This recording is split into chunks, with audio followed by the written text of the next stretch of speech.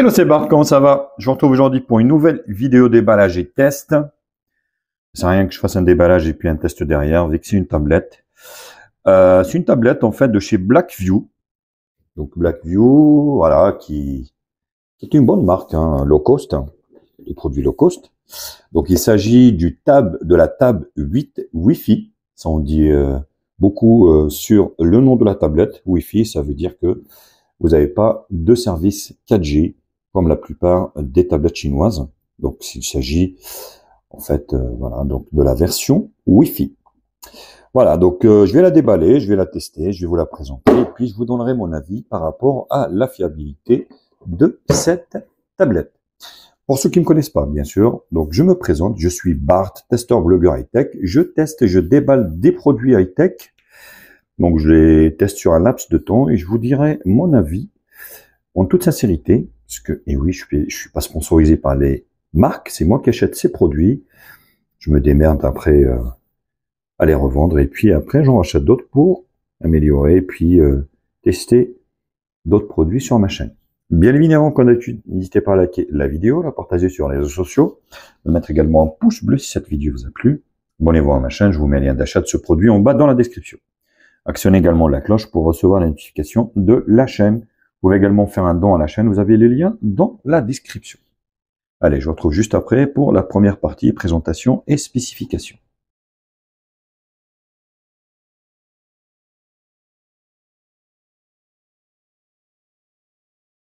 Alors, déjà au niveau de l'emballage, ça va nous donner quelques indications au niveau, on va dire, euh, de la tablette. Donc, on sait qu'en fait, c'est une tablette qui tombe sur Android 12. On a un écran 10 pouces de résolution HD+, euh, un processeur quadra-core, le RK3566. Donc on a deux caméras, une arrière de 13 et une de devant de 8, 4 Go de RAM, 64 Go de stockage et une batterie de 6580 avec un design un petit peu métallique, tout ça pour euh, aller 100 euros, un peu moins de 100 euros. Ce qui saute aux yeux sur la première page ici principale, vous voyez ici 7 Go de RAM, donc dont 4 physiques et 3 virtuels. Alors il y en a plein qui m'ont posé la question par rapport à cette RAM virtuelle que j'y n'y croyais pas trop parce que c'est du fake, c'est un argument commercial. C'est comme le fait d'avoir, on va dire, euh, euh, on va dire, avoir euh, plusieurs caméras derrière alors que vous en avez qu'une qui fonctionne. C'est exactement la même chose. Donc, euh, faut pas vous soyez, on va dire, euh, bluffé par ça parce que c'est du fake. Donc, on a la tablette ici. Donc, dans le package, un beau chargeur européen. C'est super. De, la part de Blackview, 10 watts en plus. Donc, euh, voilà, il est plutôt correct. C'est plutôt correct. Le package est super propre. Hein. Blackview, c'est toujours le cas. Leur, on va dire, package est toujours soigné. Euh, donc vous avez, vous pouvez étendre la carte mémoire ici. Voilà, donc vous avez euh, toutes les langues euh, du russe, de l'espagnol, du français. ça va pas vous servir à grand chose. Et en dernier, vous avez le câble USB-C. Voilà, USB-A, USB-C. Donc voilà, c'est plutôt pas mal. Pas de protection. Euh, le flip cover, faudra l'acheter à part. Donc pour info, si vous achetez cette tablette en ce moment, au moment où je fais cette vidéo, vous avez le cover gratos. Donc euh, n'oubliez pas de le rajouter en fait si vous voulez à votre panier. Il passera à zéro. Donc c'est plutôt une très très bonne, on va dire, euh, promotion. Parce que le cover tout seul, en fait, coûte quand même, on va dire, 18 euros. Donc c'est pas donné. Donc attention, quand vous achetez cette tablette, n'hésitez pas. Voilà. Donc euh, le dos ici, c'est du plastique avec donc euh, la caméra arrière de 13, vous avez une fake et une 13, un flash LED ici, voilà, contour, tout est en plastique. Hein. Bon après ils mettent design euh, métallique, mais c'est du fake, hein, pareil. Est-ce qu'il y a une protection d'écran, oui ou non? Mais non. Hein. Mais non. Ah si, si, si, vous avez une protection d'écran, tant pour moi. Donc vous avez une protection d'écran euh, euh, qui est fournie avec, donc c'est plutôt euh, super propre. Alors ici, donc sur la partie haute ici, bouton allumage, volume plus moins. Le jack 3.5, c'est vraiment n'importe quoi. Il est dans l'angle. C'est vraiment n'importe quoi. Il est. Alors, on va enlever ça. Parce que sinon, ça va pas le faire. Hop, voilà. Vous voyez ici, il est vraiment dans l'angle. Là. C'est vraiment du n'importe quoi. Sur la partie haute ici, l'USB-C et la carte micro SD. Donc c'est même pas un rack, hein, donc vous l'insérez directement. Euh, dual euh, haut-parleur sur la partie basse ici. Là, rien. Et puis l'écran HD+, de 10 pouces. On va essayer de l'allumer. Voilà, donc et puis sur l'arrière, euh, donc rien de particulier, tablette Wi-Fi. Fait des produits assez propres, hein, faut le dire. C'est assez correct au niveau du rapport qualité-prix. Pour ceux que ça intéresse, bien évidemment, au niveau des proportions, des dimensions, elle fait 24 cm ici au niveau de la longueur, 16 cm au niveau de la largeur pour une épaisseur de 0,9 mm. Le poids, elle fait 520 grammes. Donc c'est la version Wi-Fi 6. Donc euh, du Wi-Fi 6, c'est plutôt pas mal. Donc elle doit avoir le Bluetooth également. Euh, non, euh, c'est pas du filipino. Donc c'est du français. France, commencer. Voilà, donc la tablette démarrée. Donc pas de lecteur d'empreinte digitale, bien évidemment.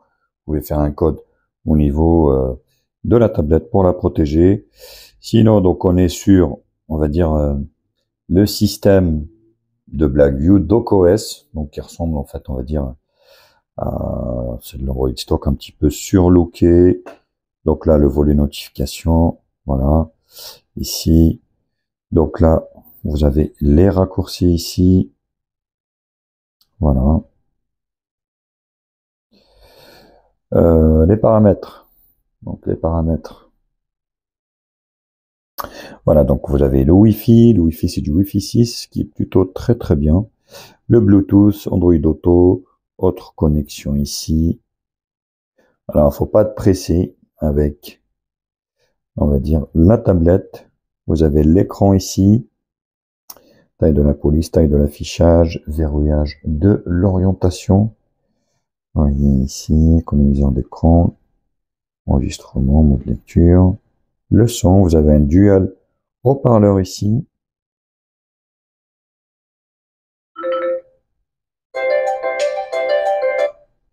Voilà, il n'est pas dégueu.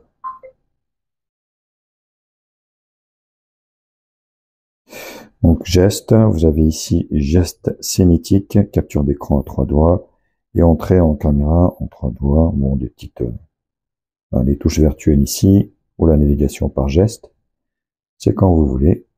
Les applications, voilà, en fait, ça a été surlooké un petit peu à la Apple. Sécurité, donc euh, déverrouillage. Vous voyez ici, c'est là que vous choisissez schéma, balayage, code ce que vous voulez. Euh, protection, mise à jour, sécurité, donc il date, le patch de sécurité date du 5 septembre 2022. Ça commence à vieillir un peu. La batterie, donc vous avez largement de quoi tenir. Ça dépend de votre utilisation, bien évidemment. Deux jours, un jour, ça dépend. Si vous regardez des YouTube, ça sera du YouTube, ça sera dans la journée. Le stockage, donc les 64 gigas, voyez, ça a été, c'est vraiment, ça a été pensé un petit peu, on va dire, à la Apple. Bien-être, ici. Mot de passe. Le système. Donc, mise à jour du système. Ici, on est bien sur Android 12. Propos de la tablette. Donc, DocOS, Android 12, DocOS 3.0. Donc là, la RAM, vous voyez, donc 4 euh, plus 2,5. C'est du fake parce que voyez ici, j'ai mis sur 4, alors ça, ça, m'indique 2,4. Donc c'est du n'importe quoi 60 Go de RAM, de ROM, pardon, extensible, la caméra avant-arrière et l'écran. Voilà. Euh, l'écran lui-même est pas mal, franchement. J'ai été surpris un petit peu par, on va dire, euh, les couleurs qui sont plutôt pas mal. Après, voilà, on n'est pas sur une tablette gamer, on n'est pas sur une tablette, on est plutôt sur une tablette cool, regarder un petit peu de contenu multimédia, répondre à ses mails. Donc là, il n'y a pas de souci, vous avez ici le volet application. Donc voilà, c'est un petit processeur, c'est pas non plus un foudre de guerre. Vous avez le Play Store, vous avez toute, comment dire, euh, la suite Google, sans aucun problème, ça va fonctionner, sans aucun souci. J'en ai fini donc avec cette première partie. Je vous retrouve pour la seconde partie, qui sera la partie benchmark.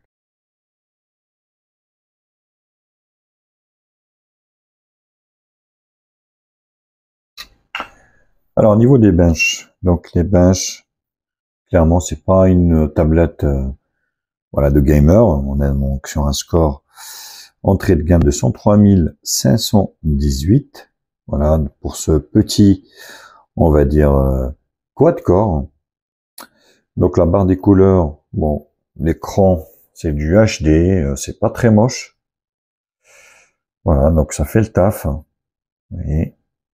Après, en extérieur, c'est plus compliqué de distinguer quelque chose. Mais bon, à l'intérieur, ça passe largement. Donc là, vous voyez ici le multitouche. On est sur 10 touches normalement. Voilà. On est sur 10 touches. Et puis ici, mon appareil. Donc les informations qui regroupent les caractéristiques. On est donc c'est la Blackview Tab 8 Wi-Fi. Donc le RK 30. Voilà, au niveau du CPU, le RK 3566, un Rockchip. Le GPU c'est un Mali G52. L'écran HD, la caméra 13, 4 Go de RAM, 64 Go de stockage. Voilà, donc le quad-core il est cadencé à 1 Go 8 vous laisse regarder. Et puis ben là, après on arrive au niveau des capteurs. Donc pas de NFC bien évidemment. Et les capteurs, c'est vraiment le strict minimum syndical.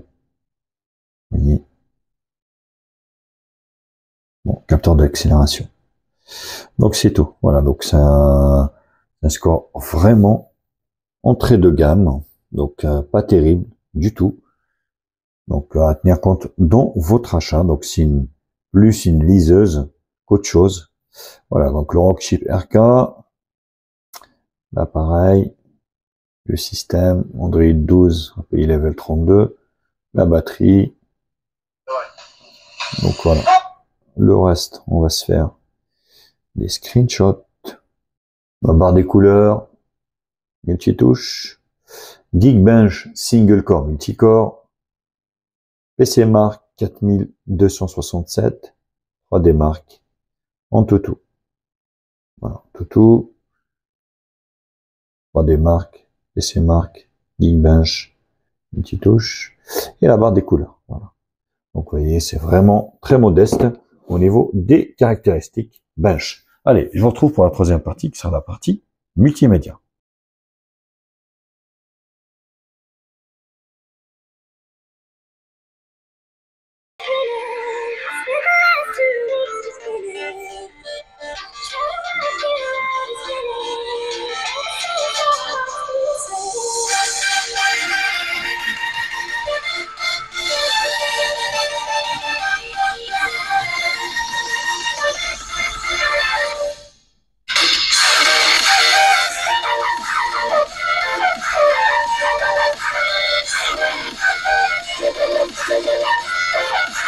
Là, ça a avancé. c'est bizarre. Au niveau de YouTube, ça mouline énormément. Voilà, on a vu de la vidéo. Vous allez pouvoir profiter d'une résolution HD maximale sur cette tablette. Pas plus. Après, voilà, donc euh, pas non plus euh, voilà officiel hein, comme résolution. Donc si vous la laissez automatiquement, il va vous la laisser plus sur de la simple définition. Quand vous mettez sur HD, ça mouline énormément. Mais euh, voilà, donc euh, vous êtes plutôt euh, sur, on va dire, de la SD que de la HD. Donc au niveau de la visualisation du contenu multimédia, ça reste vraiment, on va dire, vous voyez, la simple définition. Quand vous mettez de la HD, ça mouline énormément. Donc ça reste vraiment mitigé au niveau de l'expérience multimédia sur cette tablette.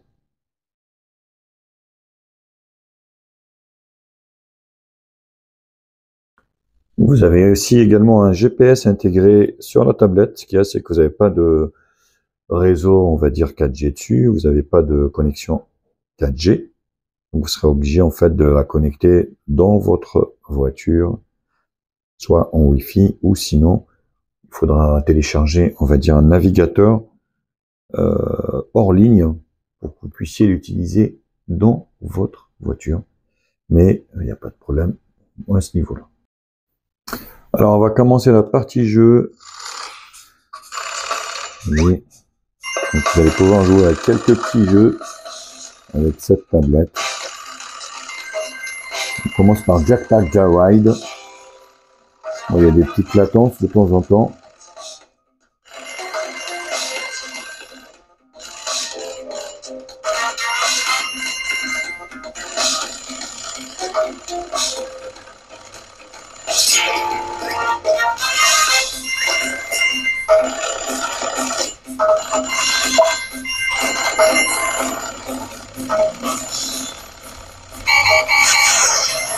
Voilà, c'est plutôt concluant. Hein. Donc au niveau, euh, après, elle chauffe hein, quand vous jouez avec. Elle chauffe énormément, mais ça fait le taf quand même.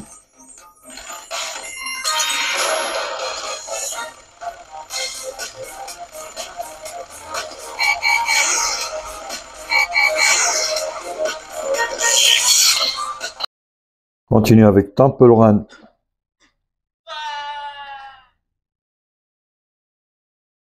Donc euh, pareil. Bon, il y a des petits lags, hein, parce que c'est une petite tablette, hein, donc vous allez pouvoir jouer à des petits jeux, mais pas des jeux gourmands.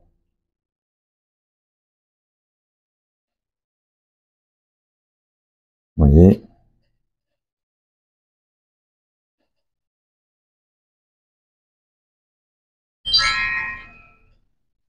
Fonctionne plutôt bien.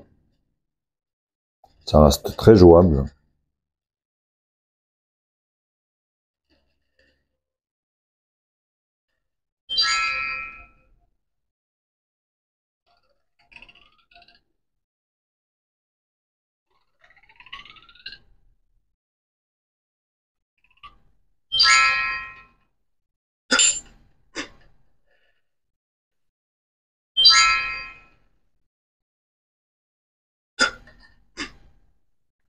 Ça reste correct au niveau du rendu ainsi que de la performance pour jouer, donc c'est plutôt pas mal.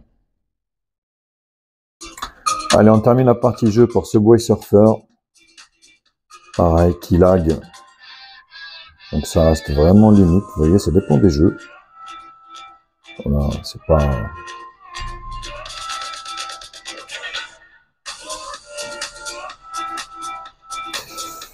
ça reste limite. Hein.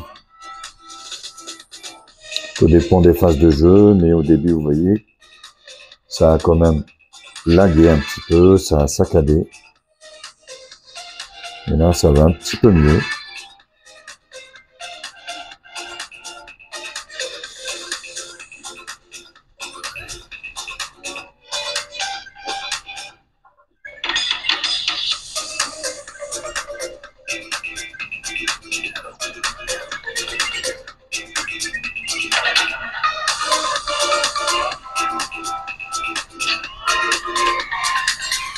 Ça reste jouable.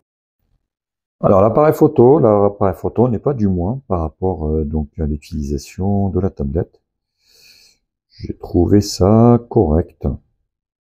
Donc vous avez appareil photo, vous avez les grilles ici, le, flash et puis quelques petits réglages ici.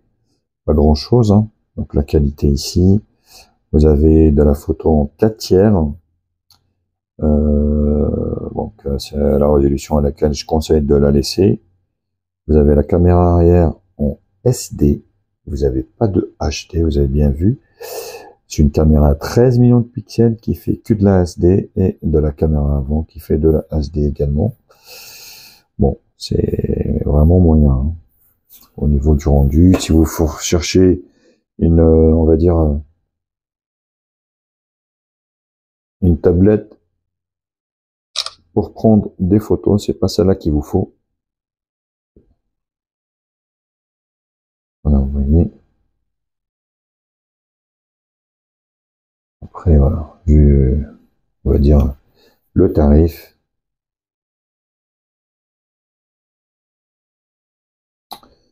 Hop.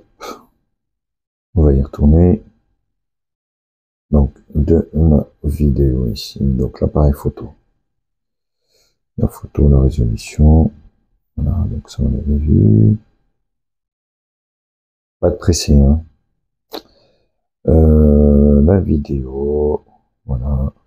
Donc, de la simple définition. Et au niveau de l'appareil de 8 millions de pixels. Wistitiz. La souris. Donc là, c'est pareil, c'est de la SD. Hein. Donc forcément, voilà, c'est la même chose. Et puis au niveau de l'appareil photo, ici, ça fait ça.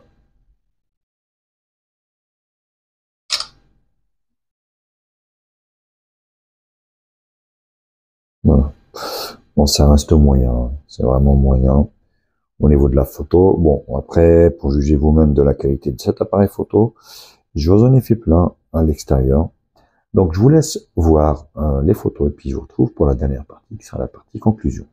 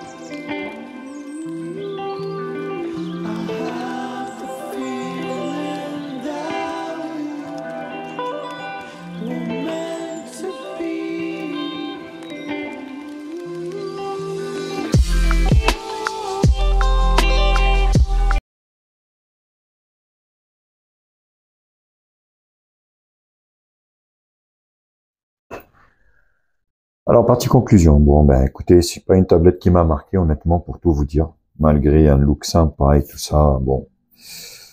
Euh, voilà. Pour un petit garçon, euh, un petit garçon, ça passe encore. Une tablette, euh, en fait, vraiment, vraiment pour débuter dans le monde du multimédia. Un petit garçon, une petite fille, pourquoi pas. Mais bon, pour avoir ça pour un adulte, franchement, c'est très limite. À la rigueur, pour lire, faire une liseuse, oui, pourquoi pas. Mais tout le reste, franchement, euh, voilà, c'est très très très limite. Donc euh, puissance limitée, on va dire euh, contenu multimédia pas satisfaisant. Donc 4 Go de RAM, 64 Go de stockage. voilà, donc l'appareil photo, c'est pareil, c'est moyen. Donc franchement, voilà. Si vous pouvez éviter cet achat pour quelqu'un qui est un petit peu plus aguerri, je vous conseille de ne pas l'acheter cette tablette. Donc euh, voilà, misez plus sur une tablette un petit peu plus haut de gamme, des octa-core, euh, des 8 Go de RAM physique, on va dire pas virtuel. Donc faut pas se fier à la virtualité de la RAM parce que c'est une vraiment c'est une cata. Mais voilà, donc c'est une tablette que je vous conseille pas pour pour un adulte, un adulte ou même hein, on va dire même des enfants au-delà de 12, 13 ans, non, ça il va te la balancer en plein tranche. Hein. Donc il va te dire ah oui bah écoutez euh, écoute papa tu te fous de ma gueule là. Donc afin d'éviter ça donc euh, je vous la conseille pas. Franchement euh, voilà en toute impersonnalité moi j'ai pas aimé son utilisation pour moi pour mon utilisation personnelle. Donc je vous dis pour un garçon ça passe encore une fille petite fille qui débute hein, donc sinon passez votre chemin. Voilà donc ça reste mon avis personnel donc à vous de voir également si vous validez cet avis ou pas. Allez, bah écoutez, j'en ai fini avec le test de cette tablette Blackview Tab 8 Wi-Fi. Bien évidemment, comme d'habitude, n'hésitez pas à liker la vidéo, la partager sur les réseaux sociaux, me mettre également un pouce bleu si cette vidéo vous a plu. Abonnez-vous à ma chaîne. Je vous mets lien d'achat de ce produit en bas dans la description. Sonnez également la cloche pour recevoir les notifications de la chaîne. Vous pouvez également faire un don à la chaîne. Vous avez le lien dans la description. Allez sur ce, je vous quitte et je vous dis à très vite. Tchuss.